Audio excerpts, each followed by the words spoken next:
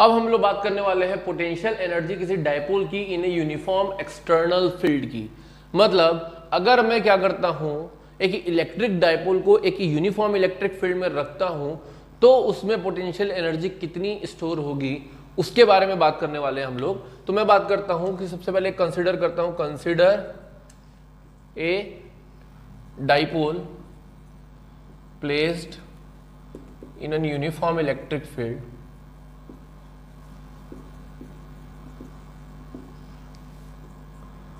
field placed at an angle theta with it. ठीक है? मैंने क्या किया कि कंसिडर किया एक डायपोल को यूनिफॉर्म इलेक्ट्रिक फ़ील्ड में, जो कि कुछ एंगल बना रहा है थीटा विद इट ठीक है? तो सबसे पहले मैं क्या करता हूँ? एक यूनिफॉर्म इलेक्ट्रिक फ़ील्ड कंसिडर कर लेता हूँ। तो मैं बात करता हूँ कि this is the uniform electric field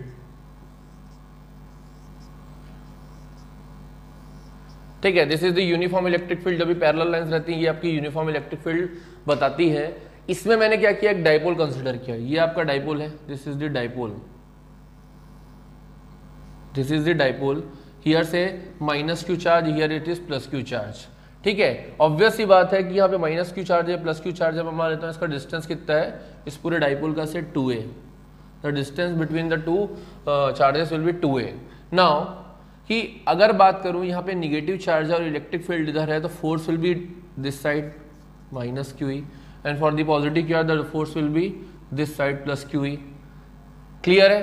Now it is making an angle theta with it जो हम लोग पहले भी देख चुके हैं।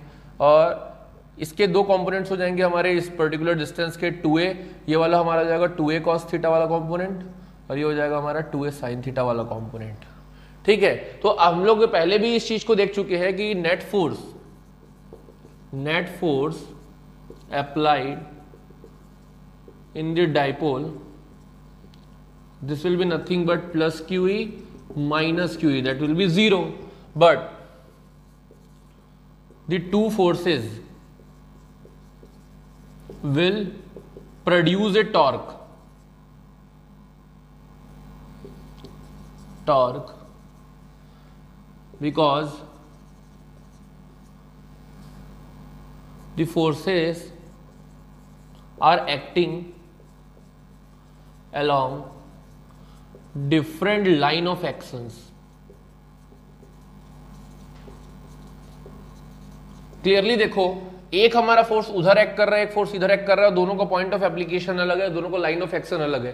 तो ये वाला फोर्स क्या करेगा? इधर रोटेट करने की कोशिश करेगा, ये इधर रोटेट करने की कोशिश करेगा तो पूरा एक राउंड चक्कर मारेगा, गोल घूमने की कोशिश करेगा, जिसके कारण टॉर्क प्रोड्यूस होगा। That torque will be given by torque is nothing but we have already calculated that will write the expression P cross E where P is nothing but the dipole moment and it is nothing but P E sine theta now अब हमको यहाँ पे थोड़ा सा analysis करना है कि how we are going to calculate the potential energy see if the dipole is rotating this way if we want to stop the dipole from rotating and we want to rotate it in the opposite direction मतलब मैं क्या करता हूँ, इस dipole को इधर rotate करने से रोकूँगा और उसको उल्टा रोटेट करना चाहूँगा तो मेरे को वर्क डन करना पड़ेगा।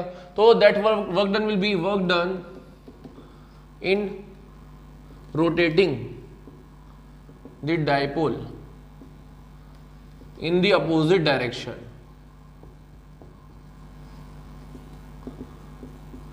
तो पहले मान लेता हूँ कि small work done D W करना पड़ा, वो वर्क डन कितना होगा? स्मॉल एंगल अगर मैं मान लेता हूँ कि इस डायरेक्शन में घूम रहा है, अगर छोटा सा एंगल इसको डी थीटा घुमाऊँगा डी थीटा घुमाऊँगा उसके अपोजिट डायरेक्शन में तो that will be nothing but tau into D theta जिस तरीके से वर्क डन हमारा फोर्स इंटू डिस्प्लेसमेंट होता है, वैसे ही सर्कुलर मोशन में क्लास इलेवन में आपने पढ़ा है कि it will be nothing but tau theta tau theta मतलब होता है torque into angular displacement that will be given by the work done now if we rotate the dipole from theta one to theta two therefore total work done total work done W will be nothing but it will be integration of theta one से लेके theta two तक tau D theta substitute the value of tau here it will be nothing nothing but theta one से theta two P E sine theta D theta put the constants outside sine theta integration कितना होता है? It will be minus cos theta and again there theta one से theta two when you will put the limits it will become P E minus sine के साथ cos theta two minus cos theta one when you will put the minus sign inside it will become pe cos theta 1 minus cos theta 2 this will be the total work done. And this work done is stored as potential energy. And potential energy is given by u and this u is nothing but pe cos theta 1 minus cos theta 2 this is the expression now, इसमें मैं क्या करता हूँ कि कुछ consideration लेता हूँ, मैं मान लेता हूँ कि assuming initially dipole is placed perpendicular to electric field यानी कि theta is equal to 90 and rotated by an angle theta उसके बाद एंगल थीटा से रोटेट हो रहा है। तब के केस में क्या होगा, वो देखते हैं हम लोग। So let me rough that ठीक है, यहाँ पे क्या हो जाएगा तुम्हारा कि थीटा वन जो हो जाएगा, वो तुम्हारा 90 डिग्री हो जाएगा और थीटा टू तुम्हारा थीटा के इक्वल हो जाएगा। दो वो एक्सप्रेशन चेंज हो जाएगा therefore U will become P E cos ninety minus cos theta then u is equal to cos 90 कितना होता है? Zero it will become minus P E cos theta and it will become minus P dot E because cos theta जिसके साथ आता है, उसके साथ dot product बन जाता है. So this will be your expression minus p dot e when it is start rotating from the perpendicular position to any of the position.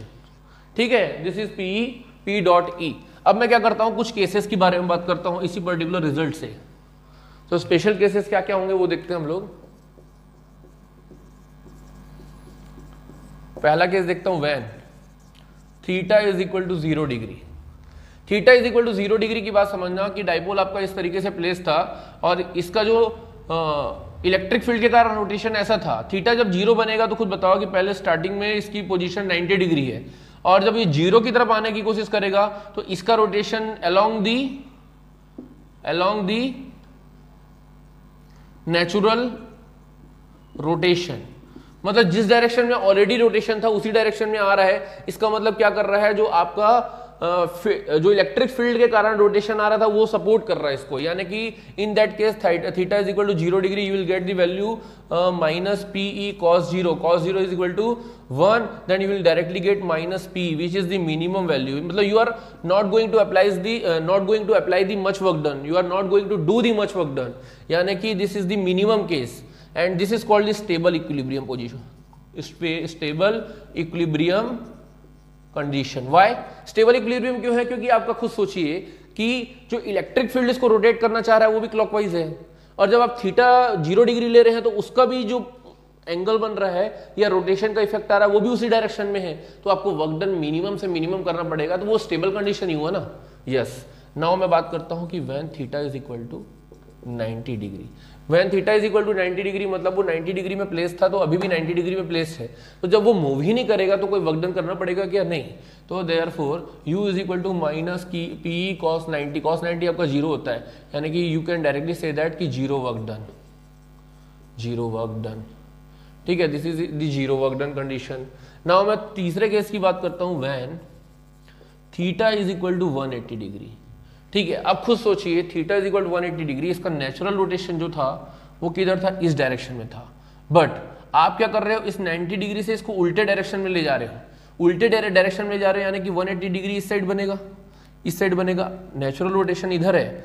और अब, और आपका जो रोटेशन है, वो इधर है। यानी कि against the rotation against the natural rotation इसका क्या मतलब है? आपको maximum amount of work done करना पड़ेगा इस केस में। यानी कि यू विल बी और यहाँ पे आपको पता है कॉस वन एट्टी क्या होता है? ये भी देख लेंगे minus P cos one eighty cos one eighty होता है minus one this will become plus P क्योंकि माइनस वन और minus P become plus P E यानी कि this is the maximum work done and this condition is called the unstable equilibrium unstable equilibrium तो exam में generally ये भी पूछा जाता है कि tell me the conditions of stable and unstable equilibrium stable equilibrium zero degree वाला position है क्योंकि जो नेचुरल रोटेशन है और जो हम रोटेट कर रहे हैं वो दोनों सेम डायरेक्शन में इसलिए मिनिमम वगदन करना पड़ रहा है और 90 डिग्री जिस पोजीशन में पड़ा हुआ था उसी पोजीशन में इसलिए ज़ीरो वगदन करना पड़ रहा है। लेकिन 180 डिग्री के केस में हमको अगेंस्ट दी नेचुरल रोटेशन काम करना पड़ रहा है, इसलिए मैक्सिमम वर्कडन करना पड़ रहा है जो कि अनस्टेबल है। क्योंकि अगर हम वर्कडन कर रहे हैं और हाथ हटा दिए, यानी कि एक्सटर्नल टॉर्क रिमूव कर दिया गया, तब क्या होगा कि वापस वो आने की कोशिश करेगा, यानी कि वो स्टेबल है कि अनस्टेबल ऑब्वियसली अनस्टेबल है। So this is all about the potential energy of a dipole in an external field